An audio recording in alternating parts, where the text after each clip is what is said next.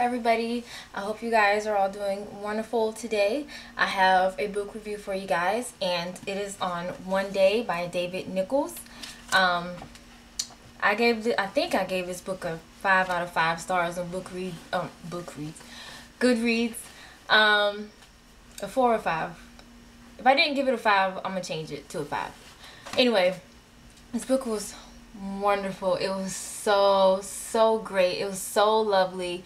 Um, it was it was awesome. It was it was it was really really good. I like this book so much. I'm gonna go buy my own copy. That's how much I really enjoyed this story. Um, first of all, the book is about this couple, of course, um, who meet up one day, one day, and that day happens to be July 15th, 1988. I think I have the year right. And, um, but what's so odd about it is that they meet up, but they don't hook up. And what I mean by hook up is, I mean, you know, they don't make out, they don't end up having sex and all that crazy stuff. They act, they, they get drunk, but instead of going forth and doing other things, they actually spend the night talking together, getting to know one another, and um, um, sharing intimate details about their lives and about themselves and things like that.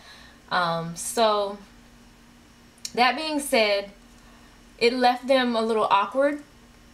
And um, they didn't they never formed a relationship. They never got into a relationship. But they ended up becoming really really really close good friends. Like the kind of friend where you can read their expression and know what kind of day they're having. Like really really good good good friends um, over time.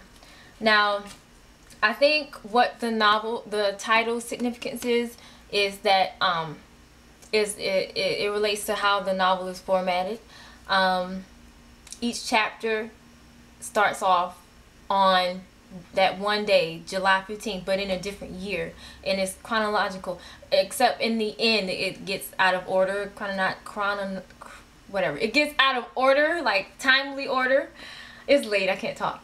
Um, but throughout the novel, it goes year after year. Like the first chapter is July 15th, 1988, and then the second, July 15th, 1989, so on and so forth, like that. And on this one day, something something semi-significant happens, and it makes them think of each other, even though they're um they're in contact with each other almost daily. Sometimes they get out of touch and they get back in touch, like friends do, you know, who live apart. Um, but anyway, yeah.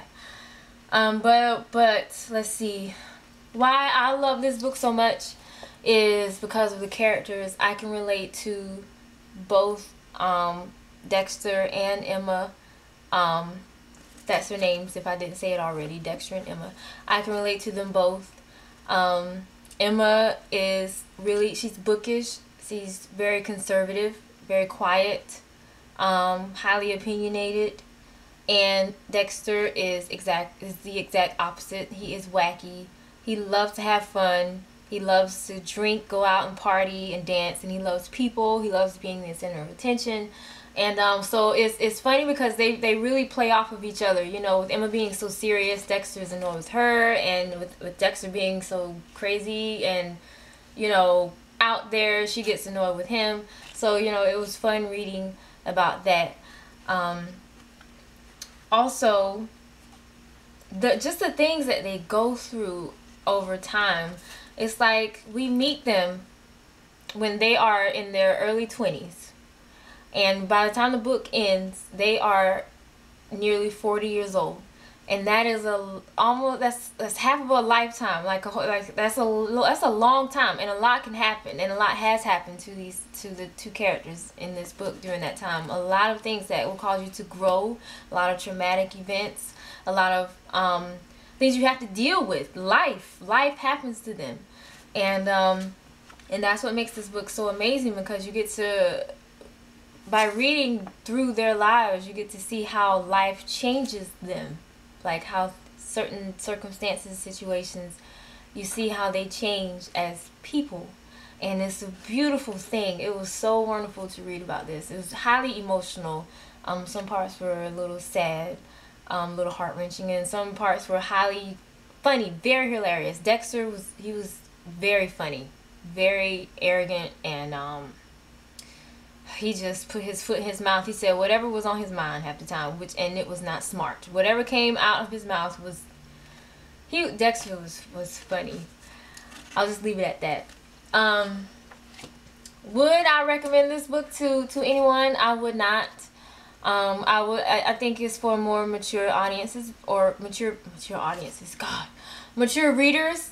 Um, but not because of sexual content or anything like that. This book isn't. It's not like you know graphically sexual or anything like that. It's just that I, I it has mature content, and by that I mean it, it kind of deals with them as older adults. So they go through adult problems, things like um, bills and careers and money and issues and things like that. So I would say, me personally, I would say that that may not be um, the most fun thing to read about if you're a younger reader. But I mean, you know, maybe um, maybe you may be a mature younger reader and you could actually relate to this. You know, who am I to say that you wouldn't? But um, but yeah, there's I would say it's uh, some mature content and um, a lot of emotional depth in this book. Um, and it's just it's just lovely. It's wonderful. I I really liked it.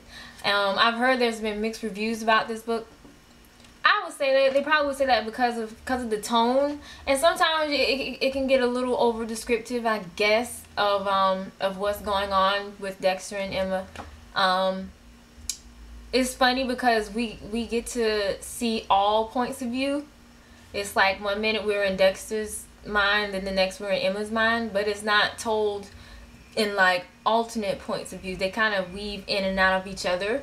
So it kind of takes some getting used to as you're reading it to try to, um, you know, figure out mm, um, David Nicholls' writing style and, you know, figure out the world of these two people in this book.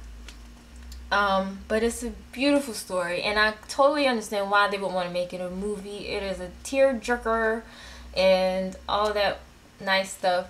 I kind of don't even want to see the movie because I already have in my head, you know, my own characters, what they look like, how they dress, how they act, the way they eat, and I really don't want um, a movie to mess it up.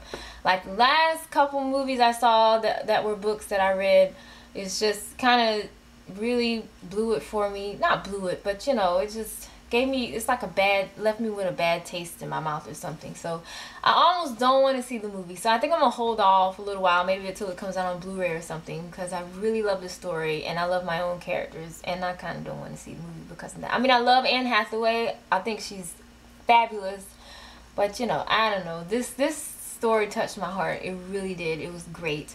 Um i say you know go check it out. Go check it out. Definitely. So that was my little review and um, I will definitely be buying a copy of this soon. I loved it that much. It belongs in my library on my bookshelf.